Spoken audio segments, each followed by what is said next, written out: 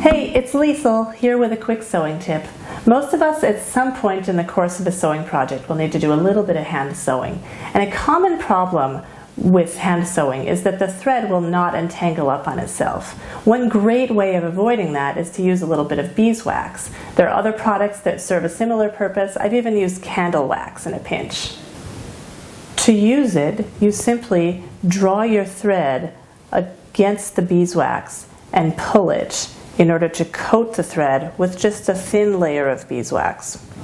Once you've done that, you can also, with your fingers, warm the beeswax a little bit to help it melt into the thread. Or if you prefer, you can use your press cloth and your iron in order to warm it and just melt that beeswax a little bit into the thread. So whatever product you use, coating your thread will prevent it from tangling and hopefully from causing any frustration.